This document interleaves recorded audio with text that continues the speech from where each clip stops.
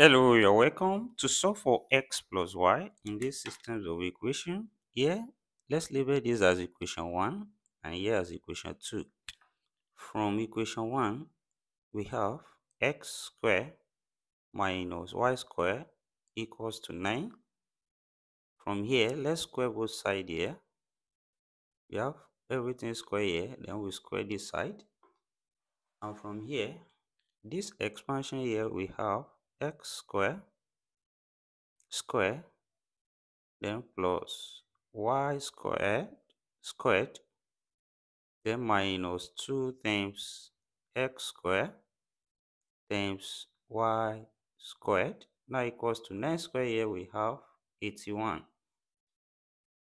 and from here this same thing as x raised to power 4 when this power multiplies then plus here we have y raised to power 4 then minus 2x y all squared from the law of indices we can bring this power out which is equals to 81 from here. Then from equation 2 we have xy equals to 20 now let's substitute that here.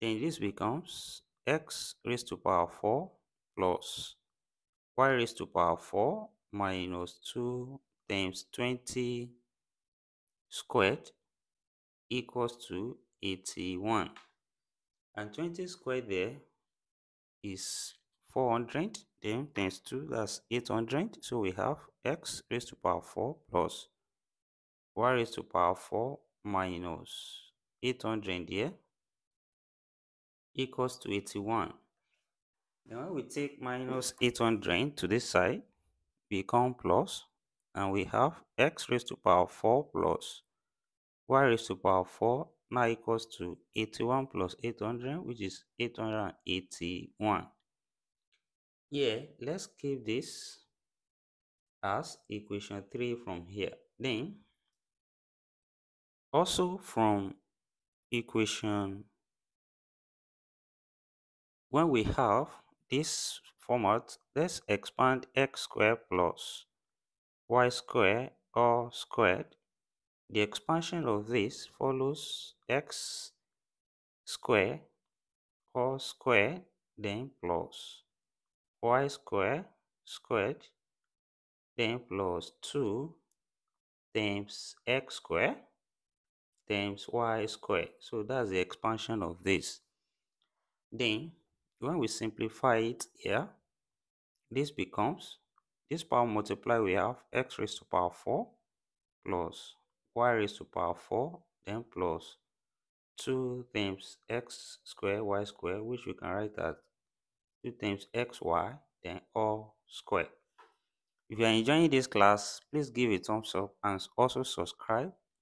If you are here to do so. Thank you then what we have here now which is x squared plus y squared all squared is now equals to here. We substitute what we have here in equation 3 so x raised to power 4 plus y raised to power 4 same thing as 881 then plus here xy from equation 2 is 20 so we have 2 times 20 squared which implies that we have x squared plus y squared all squared now equals to 881 plus 800 from here. And here this gives us x squared plus y squared all squared now equals to 1681 from here now we can take the square root on both sides to remove this square. So square root here then square root here. Here we have square cancel each other.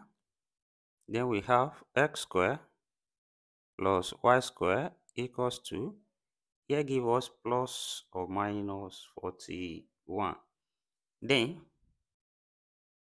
from this expansion we, when we have x plus y all squared here this expansion give us x squared plus y squared plus 2xy That is here on the right hand side, we can substitute what we have as x squared plus y squared here, which is plus or minus 41, then plus 2 times xy from equation 2, that's 20. Then it implies that what we have here, which is x plus y all squared, will then be equals to 2 times 20 here, we have 40, then plus or minus 41 and here we have two possible cases. We have x plus y all squared equals to 40 plus 41 also we have the second case x plus y squared equals to 40 minus 41 then from here this same thing as x plus y all squared equals to 81 here. And on this side we have x plus y all squared equals to minus 1 from here. Then here we can take the square root on both sides. Here we have square root on this side also square root on this side. And the square here cancel the square root. So we have x plus y here equals to plus or minus 9 from here. And also here we take the square root on both sides. Then these cancel each other. And we have x plus y here equals to here root minus 1 same thing as i from here. So we have